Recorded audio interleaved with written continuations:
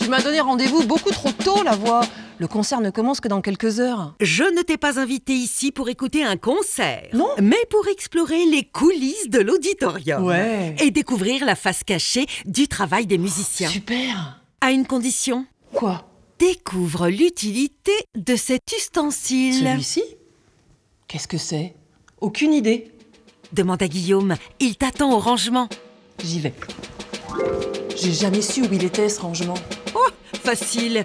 Tout droit au fond du couloir à gauche, et puis couloir à gauche encore, après la machine à café. Ensuite, première, non, deuxième porte à gauche jusqu'au couloir jaune. Voilà, c'est par là. Bienvenue au royaume des percussions. Là?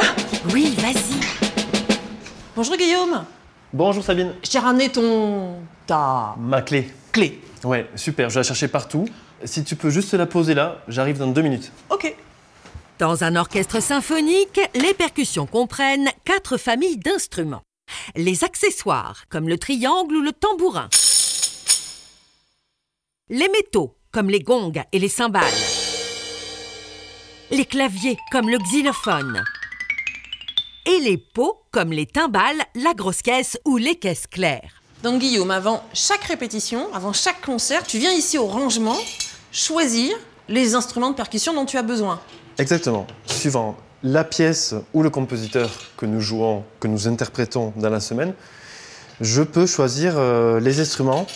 Ce n'est pas écrit non plus sur la partition du compositeur, ça c'est ma propre liberté, ma propre euh, C'est ta sensibilité d'interprète qui te permet donc de proposer tel type de caisse claire plutôt qu'une autre. À savoir qu'une caisse claire est composée de deux pots, la peau de frappe et la peau de résonance. Sur cette peau de résonance, on voit des petits grillages, on peut dire. On appelle ça un timbre. Et ce timbre va donner le son clair qu'on cherche sur une euh, caisse claire. Donc. Et on peut même entendre que ça ajoute sur le son de ma voix. C'est génial. Et cette fameuse clé Ah. que je t'ai amenée, à quoi sert-elle? La voilà. Cette clé, on va s'en servir de suite. Elle me sert à régler la peau de la caisse claire. Et les réglages, tu les fais ici ou sur le plateau?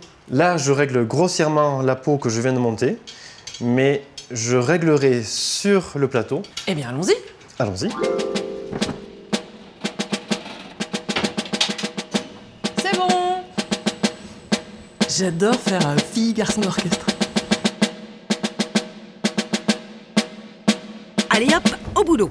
Tous les instruments doivent être inspectés, car les peaux sont très sensibles à la température et à l'humidité ambiante. Donc avant chaque répétition, avant chaque concert, Je dois vérifier euh, que la, la peau n'a pas bougé et tu fais ça avec chacun des instruments. avec chacun des instruments.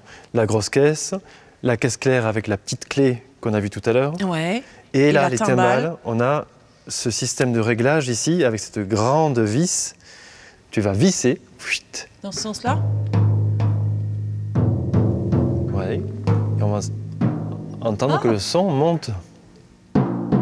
Ah oui. Et quand tu vas dévisser. Voilà, on entend que ça descend. D'accord. Pareil pour les caisses claires. La caisse claire. Je retrouve ma petite clé qui va me servir ici à régler de façon homogène la peau de la caisse claire parce qu'elle doit être tendue de la même façon partout pour que le son soit propre. C'est bon là? On est pas mal.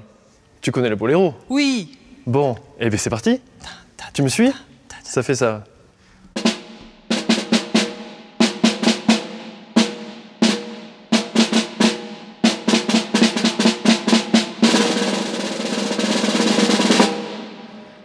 Frimeur. Eh ouais. Pas mal pour un début, Sabine.